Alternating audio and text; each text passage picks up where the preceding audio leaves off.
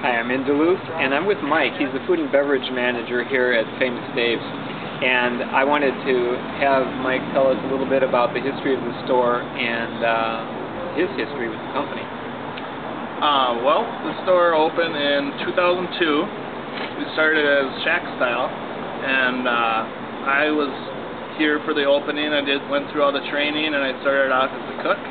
Um, I worked my way through the ranks. Uh, we went we were shack style for about a year and a half and I cooked through most of that and then we changed into a full service famous Dave's after that. And uh, I was promoted to kitchen supervisor and then from kitchen supervisor I was promoted to the kitchen manager and then from kitchen manager I was promoted to the front of house manager or food and beverage manager. And I've been here ever since and I've loved it ever since the day I stepped in here and started cooking so um, I'm a big fan of barbecue, maybe not quite as big as you are, I but know. I do love it. I've been with the company for seven years, so I really love it here. Um, the building itself we moved into, it used to be a place called Willie's Garage. It's just kind of a, a counter service, burgers and fries joint. Um, and then it was, I don't think it was doing so well, so uh, our franchise owners, Charlie Torgeson and Randy Jernberg, they uh, came in at the right time and snatched the place up and got this great building in a great part of a beautiful city here in Duluth. Um, this building actually used to be uh, part of the shipping industry, and they built ships that are, out in the harbor right now um, in this building. So it's got a got a lot of history and got a, a lot of uniqueness to it. That's for sure. Yeah, I I have photos from a visit when I went on a fishing trip up here in 1978, and uh, this area was gravel at that time. And you guys, they've obviously upgraded since then quite a bit. And Sure. No famous Dave's back then at all. No. So I'm really glad that you're here now. Yeah. Uh, my first I, inkling that there might be something unique about Famous Dave's was that I went to the Maple Grove store and then I came up here and they were drastically different. And yet, Okay. you know, same food, but the architecture and everything was just way different. Sure. And, and I liked the spirit of the place. And it was shack style the first time I came up here. Okay. But uh, how was the transition from shack to full service? It was real smooth. Yeah. Uh, we had a staff on that was uh, had been with the company for most of the time that we were shack style, so everybody was real comfortable with the menu. Um, and it was didn't take too much to to transition over into the full service. Everybody had a just a great head on their shoulders and it was easy to really easy to work with. So.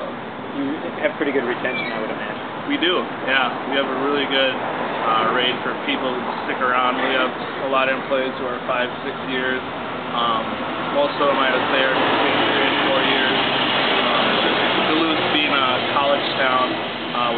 a college students that like to work here, and it's a great place to have a job as a college student. So um, they usually stick through their college career here, and you get them for four or five years. So it's great. That's excellent. Yeah. Now you're the only famous Dave with a Studebaker.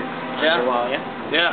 I think this was here before we moved in, I Oh, believe, since it was Willie's Garage. Um, there's a garage theme in a lot of famous Dave's, and that it kind of, we think we kept a lot of the stuff they have on the walls here, so it just tied in perfectly with what we're trying to go with here. Yeah, and can change that. Yeah. And you have an arcade. Yes.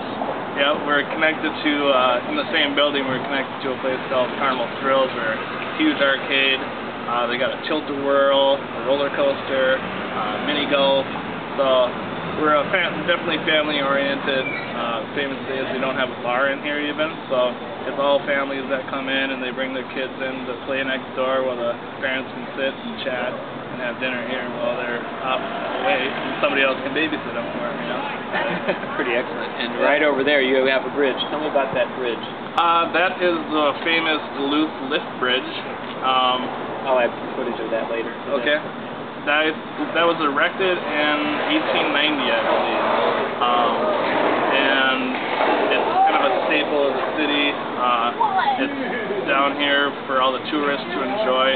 It's what connects a peninsula called Park Point from the mainland of Minnesota. And uh, there's a harbor that runs through it, a canal, and that's where all the main iron iron ore shipping goes through, right through there and uh, underneath the bridge there. Uh, were you going? Were you uh, going to college when you started working here? Yep. Yep, I uh, came to Duluth in 1999, and I went to UMD.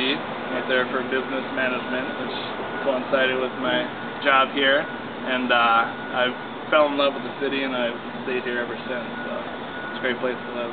Yeah, I can see sticking around. Yeah. Love the place. Yeah, there's a lot to do, a lot, a lot of outdoor activities. There's uh, lake is basically my magnet. Love being around Lake Superior and just going up the North Shore on a beautiful scenic drive, or kayaking on the Brule River, or just anything outdoors.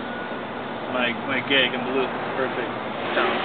And this is the perfect food to go with it. Absolutely. You get a lot of carry out and take out for people. Yep. Um, Yep. Yeah. We've even had people who have parked their boats over in the harbor, and we've delivered to people who just sitting right out there on the boats, and we'll drop food down for them. And so it's kind of neat. Beautiful. Yeah. All right. Mike, thank you very much. It's a pleasure to have you here. Good luck with the rest of your journey. I appreciate it, and uh, I'll, I'll meet it. All right. Everybody's been great, so it's a lot of fun. Good to hear. Good Thank to you hear. very much. Yeah. Thank you.